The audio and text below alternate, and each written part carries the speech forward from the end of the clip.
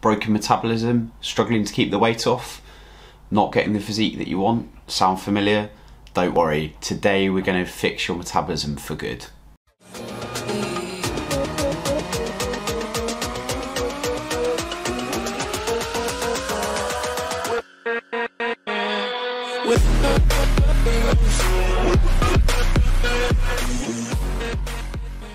So, in order to boost our metabolism, we need to first understand what metabolism actually means.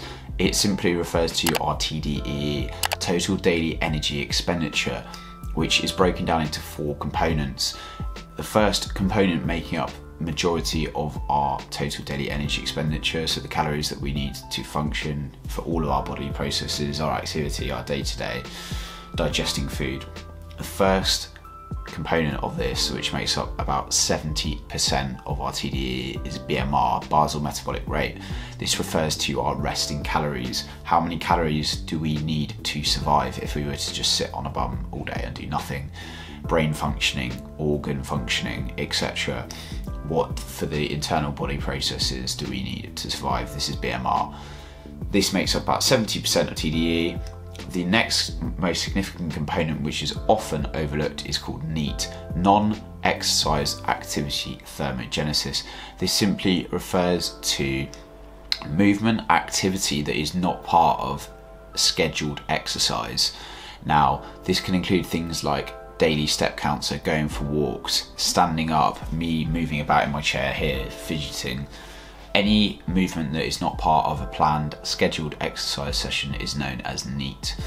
This can be anywhere from about 10 to 15% of our total daily energy expenditure, and it's often one that people overlook. Majority of people are in desk jobs and not going out and being active during the day, not going for walks.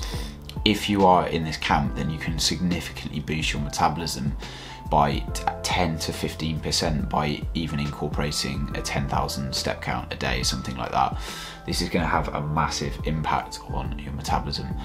And the next part of metabolism is TEF, thermic effect of food, which can be anywhere up to about 10% of our total daily energy expenditure. Thermic effect of food just refers to what is the energy required for our body to break down, to metabolize, digest, our food intake. Now, this can be impacted by the composition of the diet that you're having. If you're currently having a diet that's low in protein and higher in fat and carbs, your thermic effect of food is going to be lower. The most demanding macronutrient for the body to process the most thermogenic food is going to be protein. So, having a higher protein intake is going to increase your thermic effect of food. In theory, this boosts your metabolism, burning more calories. So, ensure that we are having a protein, a high protein diet can significantly change our metabolism. The final component is known as EAT, energy activity thermogenesis. Now, this is the part that most people focus on and assume that is actually doing more for their metabolism than it actually is. This is going to be roughly 5 to 10% of our total energy expenditure, of our calorie burn, and this is planned exercise, running, weight sessions, etc. I think people because of the influence of smartwatches, people check their smartwatches. Fitbits are uh, massively inaccurate on calorie burns based on sort of your heart rate. So, for example, you know, if you're doing a 20 to 30 minute HIIT workout, it's very unlikely that you've burnt six, seven, 800 calories that your Fitbit or your smartwatch might say that you have. So, people can really overestimate the impact that exercise has in terms of the calorie burn, and they may just eat th- that corresponding amount of calorie burn. So if you burn, if you think you've burnt 500 calories, people will then go and consume another 500 calories, thinking that oh, that will allow them to eat a donut, etc. And we shouldn't be thinking of exercise in this way of just a means to offset a certain number of calories because of the inaccuracy of the data. So these are the four main components of our metabolism and now we'll talk about how we can actually boost the metabolism and which of these factors can we control. So the biggest component of metabolism is BMR, basal metabolic rate. As I mentioned, this is the resting calories. So how if this makes up 70% of our TDE, how can we actually boost this and ensure that we are burning more calories at rest? Well, it's quite simple. The more muscle mass you have, the more calories you will burn at rest. Therefore, someone who has a lower body fat percentage and a better body composition with a higher amount of muscle mass is going to burn more calories than someone that doesn't have any uh, muscle mass, right? So, the the goal of boosting our metabolism long term and keeping fat off in the long term is gaining as much muscle mass as possible given our frame and our goals and our preferences, etc. But the more muscle mass you have, the more you are going to burn at rest. So I think this is an issue where a lot of people think that they have to do endless cardio. They get on the hamster wheel of trying to outrun a bad diet. So focus on weight training and increasing your protein intake applying progressive overload in the gym, so increasing the stimulus and the demands that you're placing on your body over time.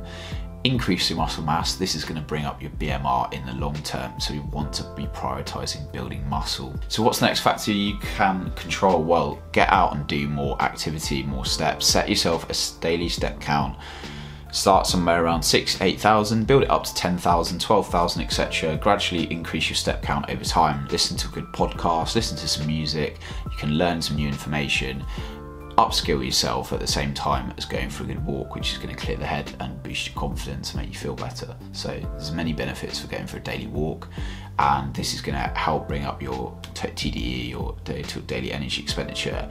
This is known as NEAT. As I mentioned in the section about thermic effect of food, increasing your protein intake to around one gram per pound of body weight, so 2.2 grams per kilo of body weight Increasing your protein intake to this point is going to increase your thermic effect of food. This, in theory, is going to boost your metabolism. It's also going to massively help in improving body composition. When you combine doing this with resistance training, so weight training regularly, your body composition is going to improve. You're going to increase your muscle mass. So, EAT exercise activity thermogenesis. The planned exercise is the last portion that we can control. So ensure that you are going out and doing your doing your cardio for your cardiovascular health. You're, but you are prioritizing resistance training, so weight training, in order to bring up your BMR. Ensure you are hitting your EAT, EAT component of TDE, and I'm sure this is going to help massively in improving your metabolism. So this is the way that we fix the metabolism long term by you gradually tapering up your calories in line with the increased expenditure that you are performing in the gym, in your walks, increasing protein intake. You are going to gradually increase your maintenance calories over time and you're going to see the improvements in body composition in the mirror that you are really looking for. So this is how you go about it. I really hope you found today's video useful. Remember, think long term, don't think short term fix. I want to get shredded and lose as much body fat as possible. Think in order to maintain a high TDE, a high maintenance calories, and keep the weight off long term with a good body composition, we need to be maximizing muscle mass. So think long term results, and I'm sure you'll get the results that you are looking for. I really hope you found today's video useful. If you did, reminder to drop the video a like, subscribe for more content Catch you guys on the next one. See you in a bit. Dan signing out. See ya. Bye.